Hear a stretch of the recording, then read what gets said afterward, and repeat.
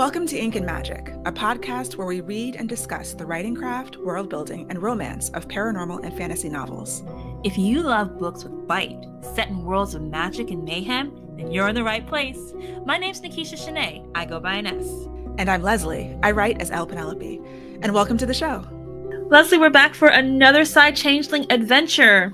Yeah, we are up to book eight in the Psy-Changeling saga, Bonds of Justice. We and this time, yeah, we're moving along. We are focused on Max, who we met in a previous book, who is a human cop, and a new character we've never seen before, Sophia, who is a Psy. And but she's not just any Psy. We're just I think the last book mentioned the Jason, yeah, because they they started to Nalini Singh is the they started to prep us for what a J Psy is and what they do. Right. The J is the Justice Psy. And they're t- I guess they're all telepaths, but they have special telepathic abilities because she can broadcast what she sees mm-hmm. to others. It says she can broadcast it to other Psy, but I got the, the the idea that she could broadcast it to humans too because Max, right. the hero, of course, he's the perfect hero for her because he is a human with natural shields. Right. So as a telepath, she's not in his mind. She, she can't break his shields. Even uh, later, Caleb can't really break his shields. We find out who's the most, you know, powerful Psy ever, probably. this is total Edward Bella stuff because remember Bella was a shield. Yeah, yeah. I mean, it's a good, you know, it's a good thing to do when you're doing a romance. Like if one character has a power, the other character kind of has to be immune to it. Mm-hmm. Well, they, you know, 90% of the time you see that because it just makes them special. It's like that reason why these two people have to be together as opposed yeah. to someone else. So, uh, like you said, a J Psy is someone who can get into someone's memories. They can get into someone's heads, and then yes, then they can broadcast it. But they, they, the J Psy work specifically in the prologue. It even talks about how the J Psy were left to work with humans. How most Psy like were treated from mm. humans, but the J Psy, it was it was profitable and advantageous for them to continue to work in the justice system alongside humans. Right. And we know the Psy do everything for profit. Yeah. This book has a lot of parallels to other books, I felt. It was a lot of, I felt a lot of uh, Faith Vaughn parallels, and Faith and Vaughn show up in this book too, just in terms of, so not only is Sophia a J Psy, uh, J Psy, like the F Psy, like Faith, uh, are all basically go crazy and, and put down. You know, they can only have a short lifespan because they're dealing with the worst of the worst, the worst mm. criminals, not just any crime. Jays deal with the worst crime, and they have to be inside of these people's heads, and it degrades their shields, and that's a problem for Sophia. And then we also find out that she can't ever leave the Psynet because she's entangled due to some childhood trauma. So touch also hurts her physically, like it did with Faith. And so Max and Vaughn aren't exactly analogs. You know, this is what it looks like if Vaughn wasn't quite so forceful. And so, like, I'm doing this anyway. Max is a kindler, gentler version. And I, that's one of the reasons their interactions, you and I had very different opinions about this yeah. book, but I really liked they're, they're, this couple. I like their interactions. This level of this a similar conflict that we've seen before with with these two types of characters worked at this level for me a lot better.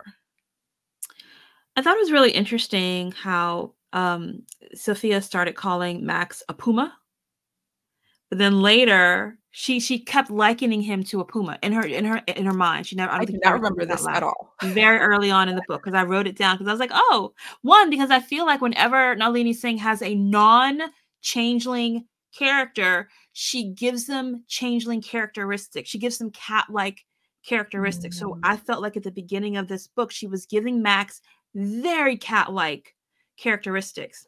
But then Sophia started calling him uh, a tiger who's decided to behave for a while. I remember briefly her saying something like that. Um, I think it's just that these men still have to be alphas. So even mm-hmm. if they're not changelings, the humans still have to be alphas in their own way.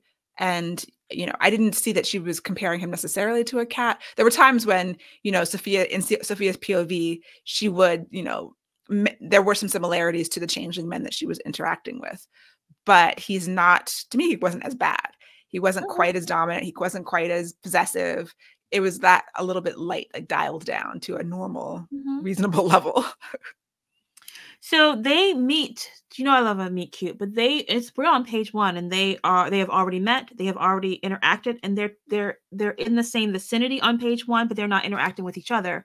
They're interacting with a psychopath.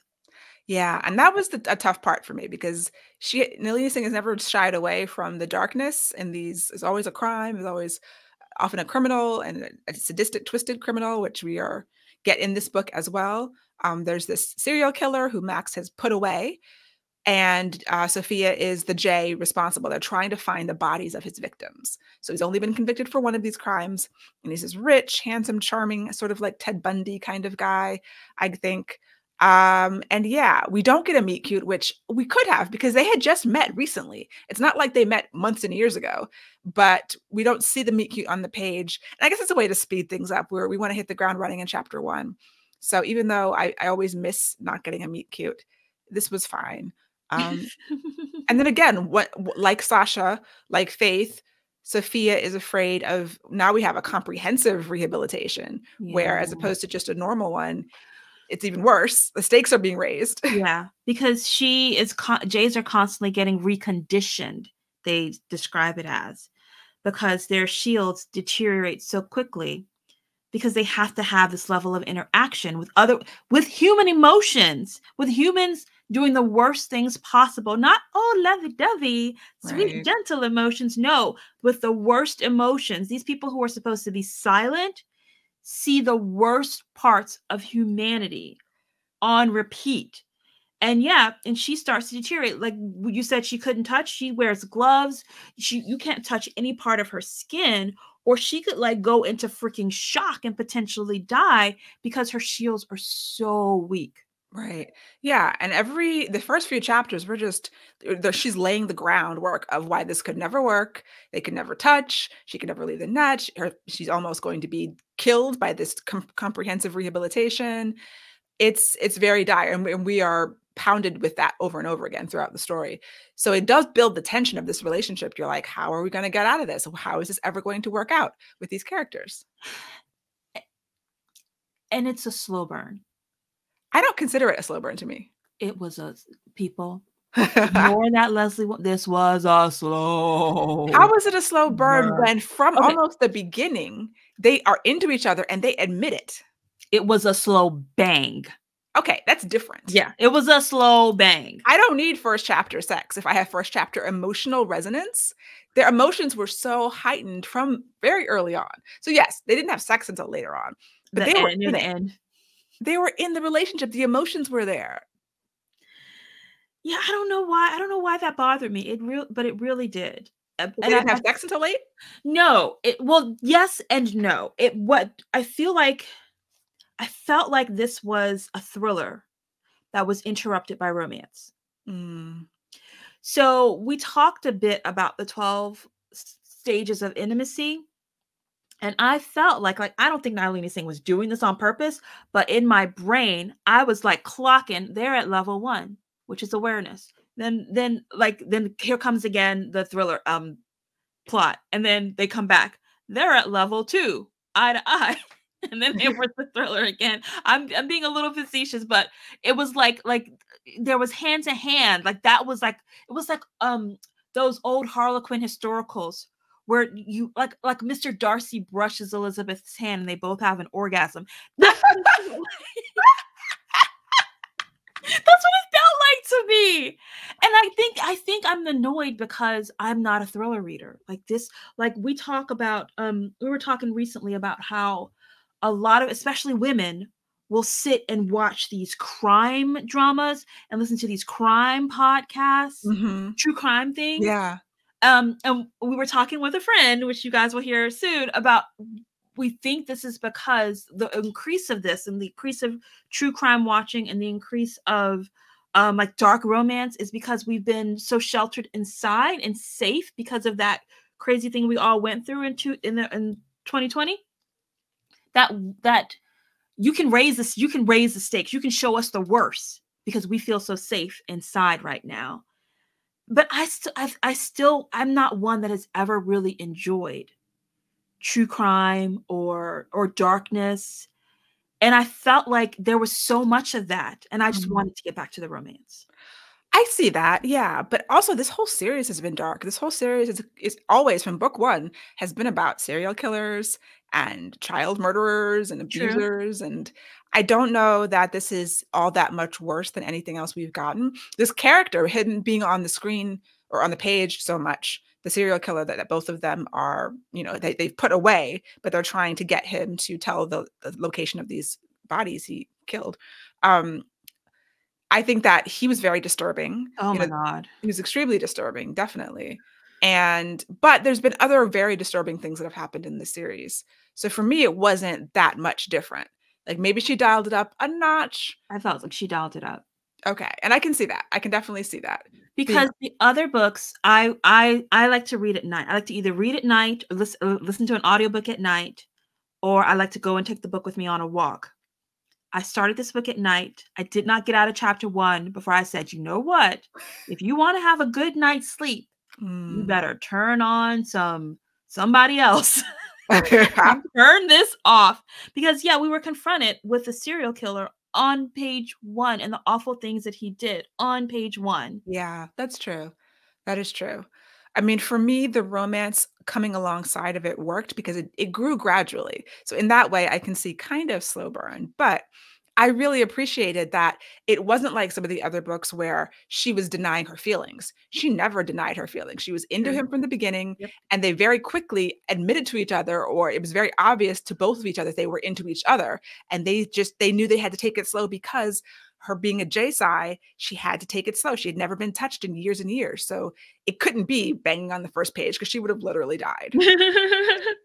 she also thinks that she's going to be dead within the year because her Right. shields are so degraded and she knows she's she's one of the longest surviving J Psys and she's one of the best at the job. Of course, they both have to be the best at their job. So Max is a, a top-notch um cop, but he also has these natural shields which makes him even better than everybody else. And Faith Faith and um Sophie is so incredibly good at her job and she's lasted at it longer than anybody else and they keep putting her on it even though she should be out to pasture hmm they keep reconditioning her so that she can it's just like when you um those those when you see somebody in a boxing ring Mm. and they're both of their eyes are like you got to cut their eyes and they're bloody yeah. it's like that it's like they're like no you can do it again go again where you know this person is literally going to be brain damaged I didn't. I mean, I felt like she was still. She knew that she was at the end of her time, and she still Mhm. wanted to do it. This was her purpose. This is the only thing she had. If she can't do this in the Psy world, there's nothing for you, so you're going to die anyway. It's not like you can just say, "Oh, I think I want to retire now." You know. But do you remember how she was talking with another J? This we're skipping around just a little bit. She's talking with Sophia's talking with this other J, and she's she's she's like, did we ever have a a choice? Did we ever have a chance to be something else? As soon as they saw this designation, she asked this person, she's like, did you apply to something else? And I think this other person said yes, and I got denied. They they saw that we were J's and we had no other options. Right. There were no other jobs available. And it was kind of like, it- you know, the other jobs were technically available, but they had been funneled into this purposefully. Absolutely. You know, we are, we dive more into the Psy world here. And we're always with the counselors, and we'll talk about Nikita in a minute, but you know, just their the way that they treat people, the way that they treat their people, the way Sophia's parents treated her Oh, is is underscored. And yeah, it's it's definitely rough. Sophia and Max part ways. They don't think they'll ever see each other again. And then Nikita, who is Sasha's mother, who's a state counselor, uh, has a need for an enforcement officer and a J.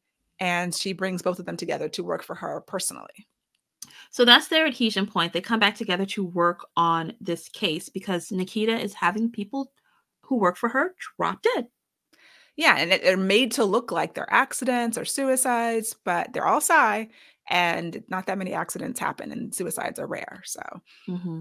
and Max is, you know, the good cop. He, I I don't remember his motivation exactly. He just, you know, this is something that he thinks he can do because he has natural shields. Nikita asks for him because other Psy can't interfere with him. And so that's the cover story.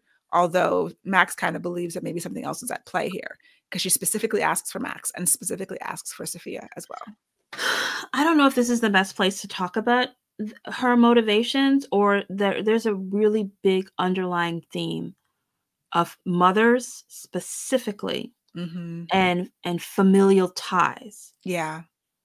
they they actually both both Sophia and Max start to question it because as they they so Nikita puts them up um in rooms next to each other and they this is how they start to get closer and closer you know they're talking to each other at night they give each other permission like it's like a key a hand key print mm-hmm. for them to enter each other's room and they give each other access to each other's room max has this ornery cantankerous cat and the cat starts to take to sophia so there's some really pretty and beautiful um, fun and games moments as they're getting to know each other mm. and eating together and, and working on the case together yeah and then they start to tell each other their secrets. Yeah. Max tells her about his past and he says, I've never told, I've never shared this with anyone else. And we learn that his mother hated him. Right. We don't get a lot of details, but we it's the sense that is she was very abusive towards him. And he had a younger brother named River who had a different father, and the mother loved River. Um, and that caused problems between the brothers and caused problems with his brother River, which becomes important because River, as an eight year old, becomes a drug addict. It's like very, very strange and then disappears. So Max is scarred by not having a mother who loved him. And then Sophia's parents also basically disowned her when she was eight years old and just sent her off to the Jays because of a very traumatic thing that happened to her, which we find out later. So yeah, and I, I think I wonder if it's okay to talk about that now because that's that becomes part of their falling in love, of them telling each other these secrets that they do not talk about with other people. Mm-hmm.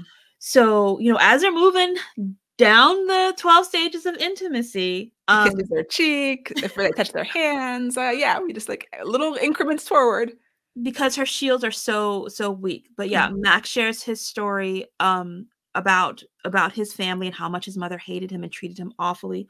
Sophia eventually opens up about that her parents disowned her, but but then she starts and, and completely disowned her. So so this book, what do we call them again, Leslye? Because I get them mixed up. We got the interstitials that are at the beginning and the epigraphs that are at the end. How no epigraphs are the chapter headers. So this one has notes from Sophia to Max, and then like Max's diary open up each chapter. Yes. So we start to we start to get a little bit from them. Some some of Sophia's like and some of it's is coming like a little bit out of order too. Um, because at some point in Sophia's diary, she starts to talk about she starts to talk specifically to Max. Mm-hmm. But before that, we see some of the letters that she wrote to or, or mention of the letters that she wrote to her parents, trying to get them to come and get her.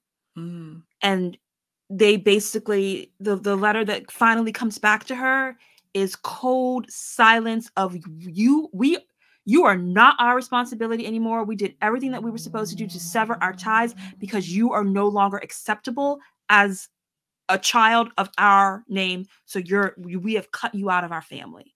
Right. it was brutal. Yeah yeah. And so that you know they have the the mother child relationship reflected there too in both of her parents honestly. I, I, I think she had siblings and maybe they went on to have other siblings yeah. because she was defective you know and she had gone through this terrible situation which had left her to her parents defective. Yeah. So circling that back around to miss nikita who hires these two people and they're both wondering what is her motivation? Why did she hire the two of us? She mm-hmm. hired somebody else, like Max is stationed in New York, I believe. Mm-hmm. And Sophia, you know, Sophia's on these big jobs, and you come to her.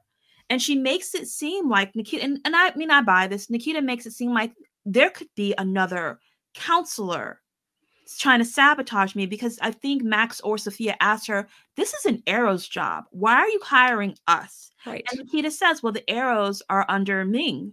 Yeah. And I need to make sure this this this could make me look weak. Somebody could actually get to me. I need the two of you mm-hmm. to make this happen. But as the reader, we know a lot more about Nikita because we we know about Sasha and we know about some of the things Nikita has been doing uh, behind the scenes in these other books. So we have these two people who whose parents whose whose uh, Max doesn't know who his dad is at the time and his mother completely rejected him. Sophia's parents rejected her, and Nikita rejected her daughter. And so, even if they are not like, hmm, we as the readers are like, what's going on here? And I personally have been wondering since book one about Nikita and the level of her actual rejection of Sasha. So by this time, Sasha's like five months pregnant. They've been keeping it a secret. Nobody knows. Um, but Sasha, every time we're back in her POV, you know, we get that longing, that pain about her mother. Did, did, my mother actually love me? How silent is she? And that's been growing over these, you know, seven books before now. And so this really kind of blows it wide open where we get our confirmation by the end of this book about mm-hmm. where Nikita really stands oh, and what she's been so doing behind the scenes. Yeah, because she's gathered people around her in her upper echelons, her inner circle of her corporate world. Some of them, some of them are very loyal, and some of them are a little bit broken too. And I think other Psy are starting to see that maybe Nikita is a place we can go if we are a little bit broken. Maybe she's a collector of broken people. So we're going to circle back around because that brings that that bring, that dovetails us back into you know there's a plot to this book. The plot, the external plot, which you were not super a fan of. No, no, I got very confused because there was a lot of people dying. So a lot of names. There's a lot of names and they were dying. um, so Nikita had a couple of her um assistants die. They either mm-hmm. looked like a suicide or it looked like an accident, and Max and Sophia are gathering this information. But as they're questioning, they start to meet other people um, in her world. Like um, they meet Nikita, Nikita's number one assistant, who's a woman. I can't remember her name. I can't remember anybody's names. Um, and there's a, an intern. Right. There's a French dude. Right. See? And someone else. right, exactly. So as Max and Sophia, they get surveillance for the for one of the people who looks like it, he committed suicide. And they're get they get the surveillance footage and they're watching this video, trying to see who um was coming and going. They oh, that was the suicide. That was someone who would just he dropped dead or something. He he was killed while they were talking to her, while they were interviewing her. It was the latest murder, and it happened in like in the, in the building where they live in the apartment. So yeah, they're watching the footage of who's going in and out of his apartment. Yes. And who do they see going into the apartment next door? But one Sasha Duncan. Right. Which brings the changelings into this. And of course, Lucas is, is gonna have a coronary because they, you you want to accuse my maid of what? And like, and Max handles this because there's there's there's the tension between Max and um Lucas, and Max handles it brilliantly. Mm-hmm like like a cop would, like a good cop would, like calm down. Not even say calm down, but you know, soothing tones. And Sasha explained, she's like, I'm an empath. There's no way that I could have killed anybody because I would feel it too. And so then they asked, Well, what were you doing? Right. And Sasha explains, and she this is where it starts to become heartbreaking. Yeah. Because Sasha, the Nikita's assistant, her main assistant, she was with Nikita before Sasha was born. So Sasha gets it in her mind that I can go and talk to this assistant and I can get some information about how my mother was when she was pregnant with me. Yeah, because I imagine it's super difficult to be pregnant, not have done, it before, and not have your mother to rely on to ask questions. And I think that's part of where it's coming from. Did she love me when when she was pregnant with me? Did she ever love me? These are her as an empath especially these are her mm-hmm. concerns mm-hmm. so yeah it mm-hmm. was totally heartbreaking and nikita is is such a badass like as cold as she is she she's oh she, she lights up the page when she's on it really she, kind of steals the scene Nikita is everybody else is playing chess. Nikita is playing three-dimensional chess. No, everybody else is playing checkers. Yeah. And Nikita is playing some serious three-dimensional chess. You she we were talking about villains recently and she you cannot help but admire her. Oh yeah. Yeah. And we know she's done, you know, there was book two or three where she was having people killed. She was trying to kill the changelings. I was thinking, okay, are they gonna what is her deal? Like I felt like she really did love her daughter, but she actually is trying to kill Lucas and kill some of the changelings in one of those books. And then she kind of be get here to she's figured out she can't do that. That's not gonna work. She's all about making money. I don't know what it is about her. We have to break down her character, but she's cold as ice. She's very capable. She's very dangerous. She's scary, but she's actually not heartless. And maybe that's what it mm. Yeah. It's like she, it's like, you know, like um, she has rules. Yeah. They're her rules. She's a code. She, exactly. She has a code. And her code is the Psy race, but it's also her blood. And she mm-hmm. won't let mm-hmm. you mess with her blood. And then also her territory. Mm, We her- yeah. we get It's like race, her territory, her blood. blood. I'm not sure what the order is. exactly. It's all together. Cause yeah, we end up in a place where don't come into my territory. If you come Yeah. into my territory, I will kill you immediately. So just to kind of complete out that mother theme, Mhm. um, and then we can get back to the external plot.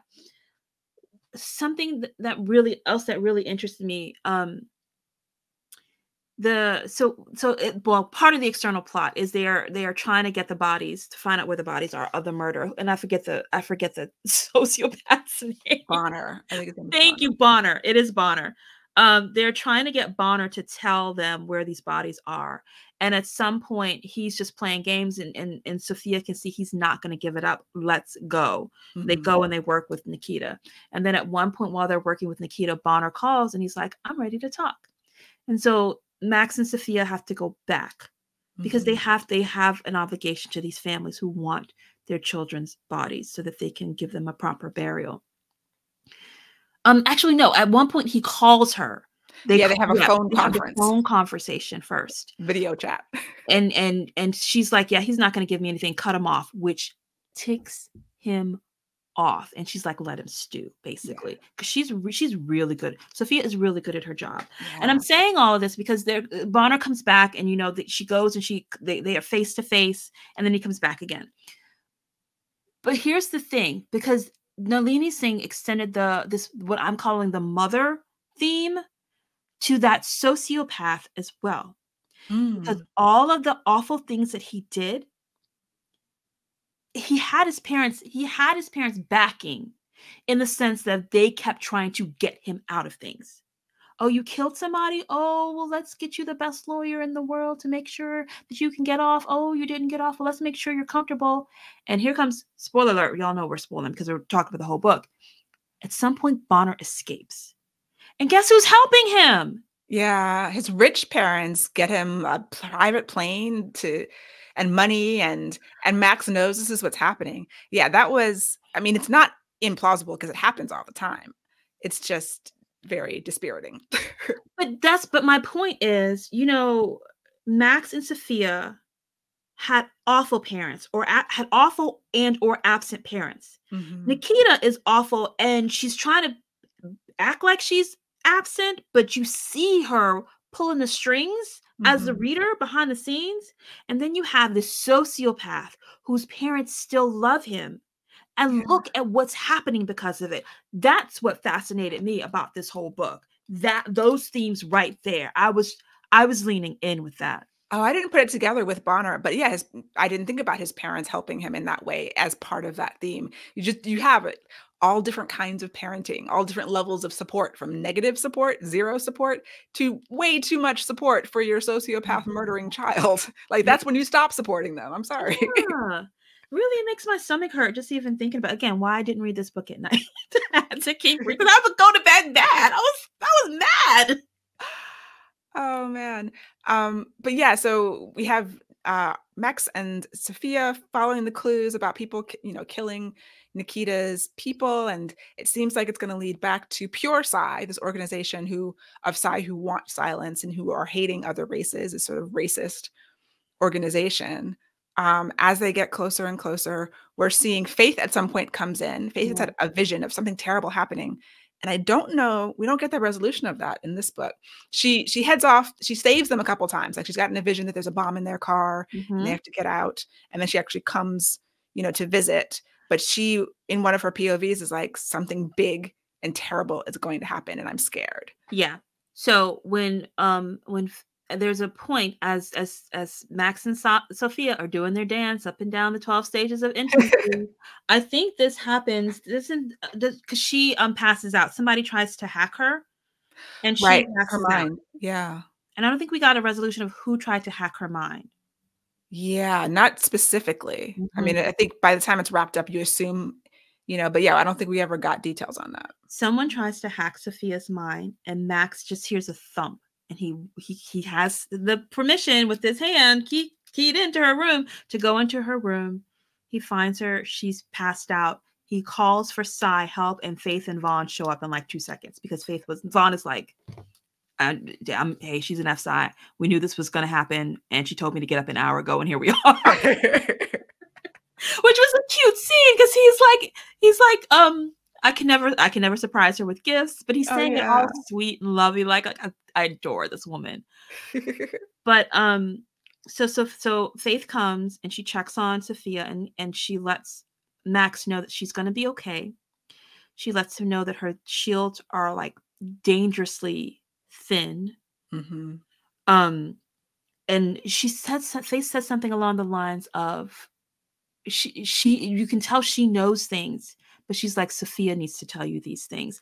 It may have been I can't remember which secrets, but I know that that Sophia was still keeping secrets. She was keeping the secrets of what what we learned that um cops call J Justice. Yeah, because there is actually a darkness in Sophia, um, which is part of the theme too. So we have, you know, she's a side, she's seen the worst part of humanity.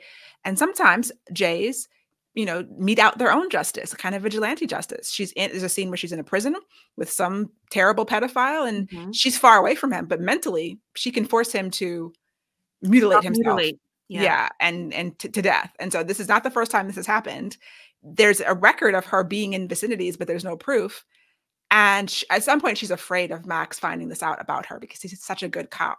That is he going to accept her and her vigilante? And of course, he does, He's These are the "No, of the we call it J Justice. right? And like we know that sometimes they they got to do what they got to do. They were in these people's heads. They know 100% what happened. So, and that darkness that's in her becomes very relevant by the end.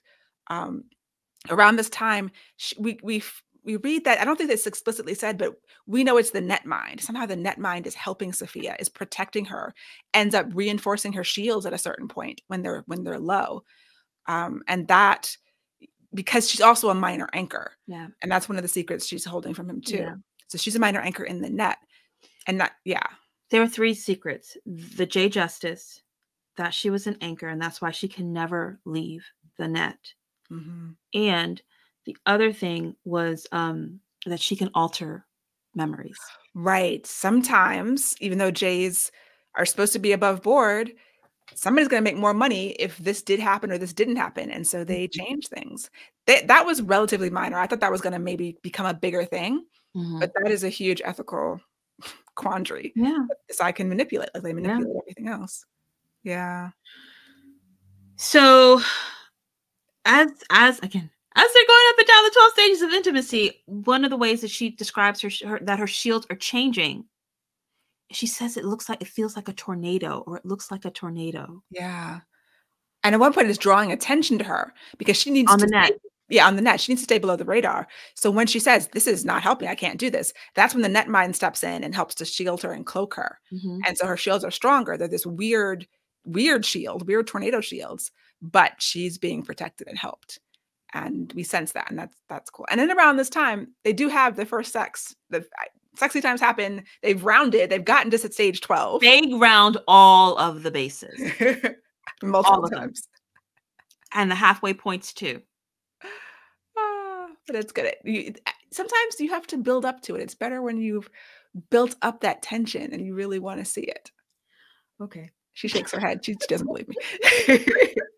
So, um, another as they're again as they're rounding the bases, some fun, some really fun, nice, fun and games happen. Um, they Max is like, let's go out to dinner because you know she's a J, she's just eating nutrition bars. He's like, let's go out to dinner, and he wants to go actually go out to dinner, go into the restaurant. She's like, yeah, no, I'm good.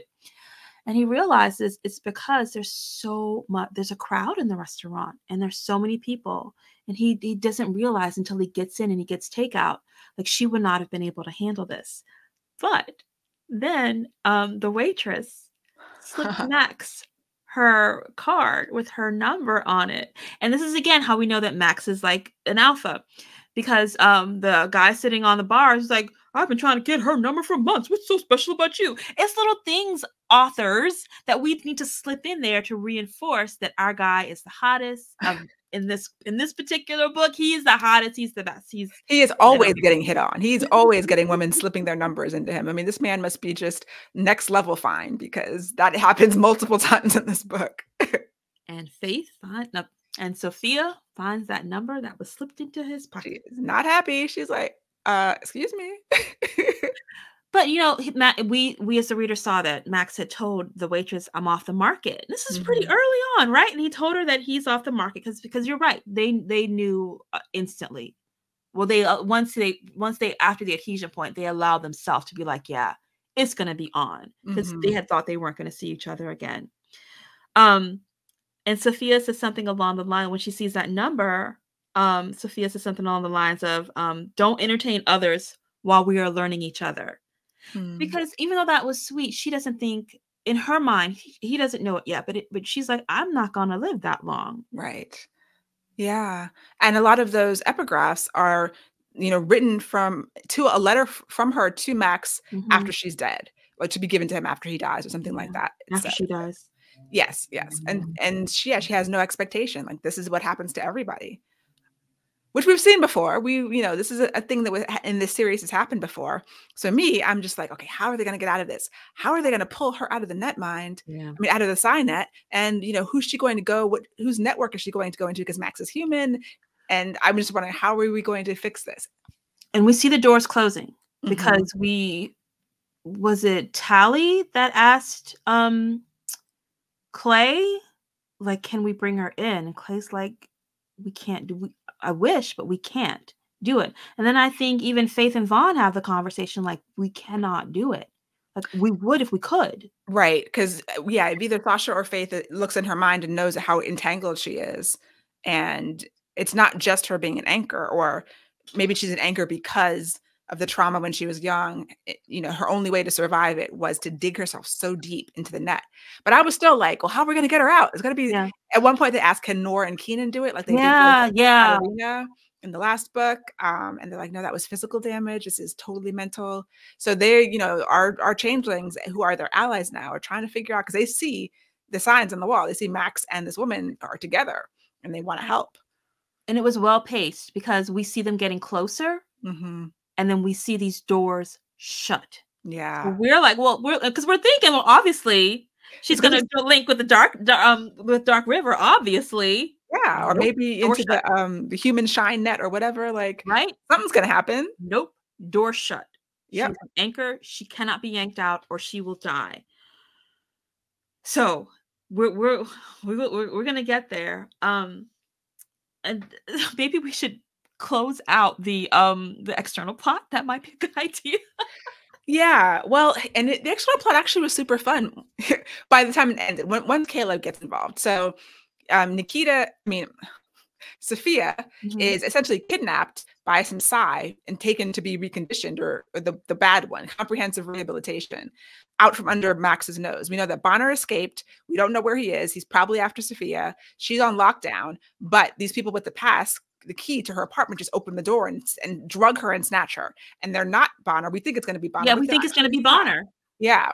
And that's that was a nice little twist. Very nicely done.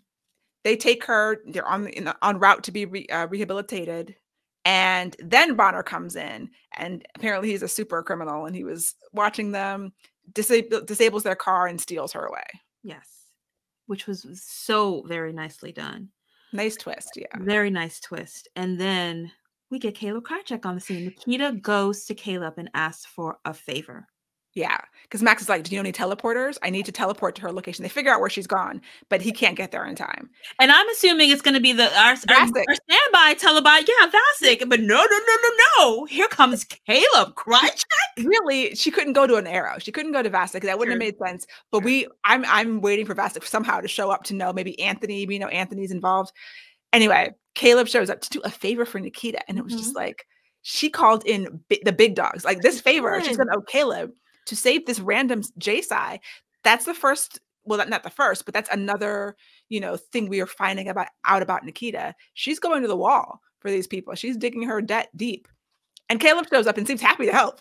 like he's like, let's do this. As happy as a tie could be. exactly. As he has a, blank mask on his face. Yeah, no emotion whatsoever. But, But he, it- he gets it done. and it's still so fun to see him on the page. Like, I don't know why he's such a delight when he's on the page.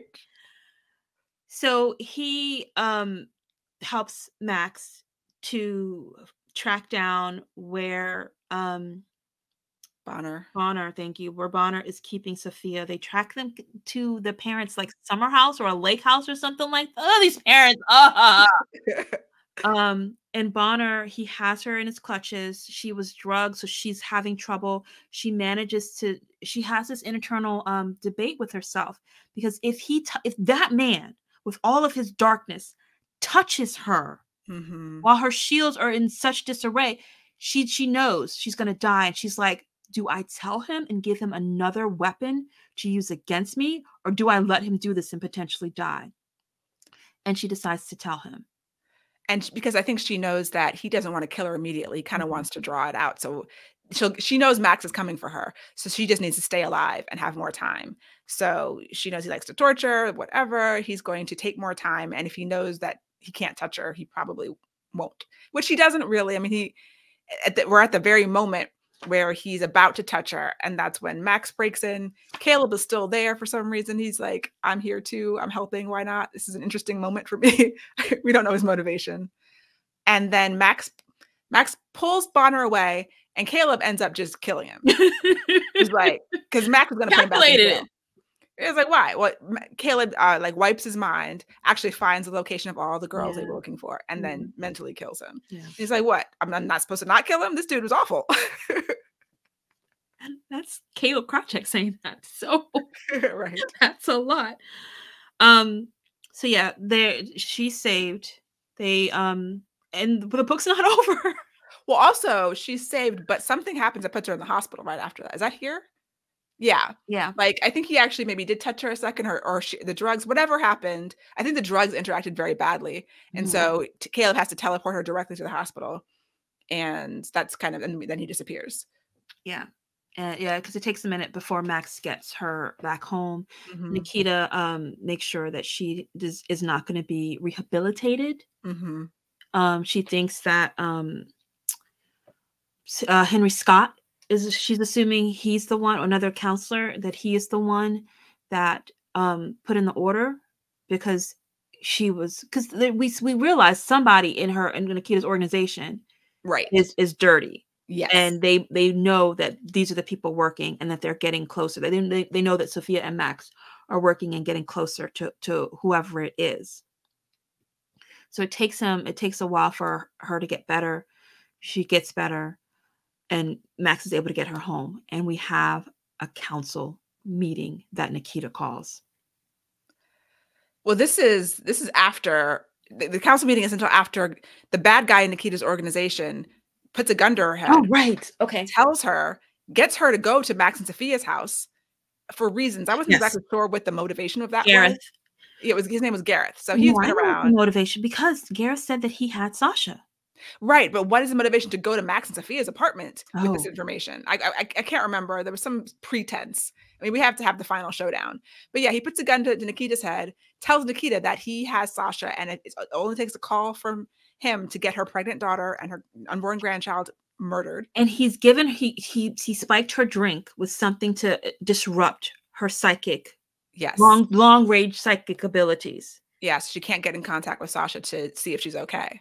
But she has still nikita is a master virus deliverer so she has put a virus in gareth's brain and, and gareth is like what so be it Yeah. this is for this is for the good of all of all Psy Yeah. you cannot he wants pure silence and he's angry because this is what we were thinking this is what we were led the- the um the theory that max and sophia were operating under is that some nikita is working a lot with the changelings and mm-hmm. someone doesn't like that and wants Right. it to stop and that turned out to be the thing and we know that we we think that gareth was working for henry but she can't prove it because henry of course wiped any potential thing from his mind but she knows Yeah. he did this Yeah, because he's the main advocate for Pure Psy. And so eventually in the in the apartment, um, Sasha calls Faith, verifies, I mean, i know no, Sophia. before that before Okay. that so so nikita has a gun to her head and here is max like what am i going to do but max has hit sophia in the room and guess who comes to the rescue it's sophia who gets out, out of the bed and she's able to shoot um right, Gareth. gareth and as soon as that happens nikita picks up the phone calls her daughter, and this is the gangster move Yes. of the book. Yes. Do you want to tell him or you want me to tell him? Go for it. I know you enjoyed this. Nikita picks up this phone. She's just had a gun to her head. She's been poisoned and she has been, she's never in a weak position. She was just in a weak position and she has heard that her daughter is about to die. She picks up the phone, calls Sasha, and is like, Sasha, I'm just checking. I sent over some contracts. I'm just making sure you got them. You did? Okay, great. Goodbye. Gangster. Gangster. We know it's a ploy because she was like, Max is like, uh, Nikita, can't you handle this dude with the gun to your head like immediately? And she's like, he has threatened Sasha. I can't do anything until I know she's okay. And Max is like, oh, okay. Because I mean, Nikita was never in danger. She she is a master, you know, of what she does.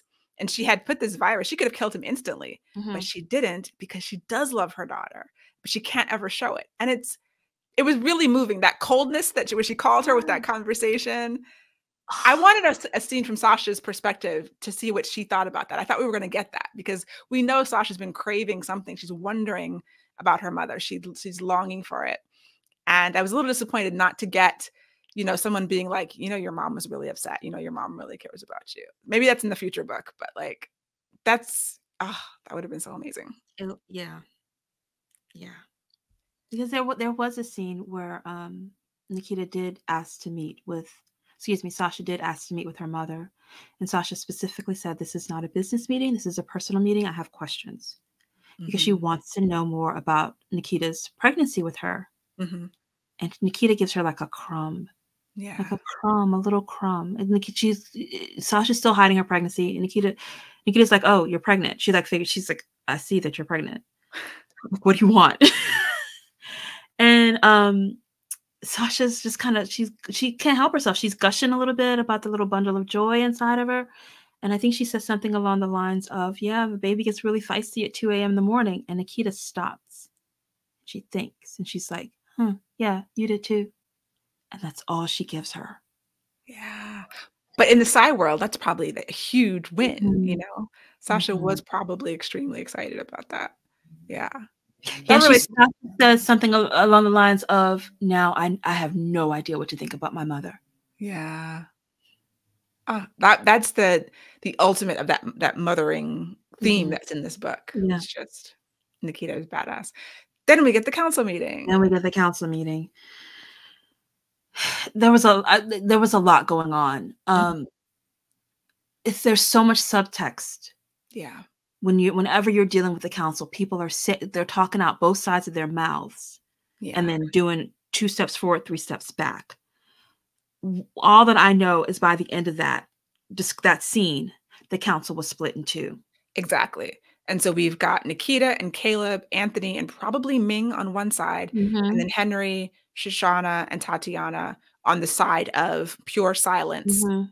You know, and the other ones were kind of like, eh, silence probably has to fall because things are getting bad. Yeah. And yeah, that was it split into at the end. And then we have another scene with Caleb where he finds out the arrows are shifting their allegiance Yes. from Ming potentially to him.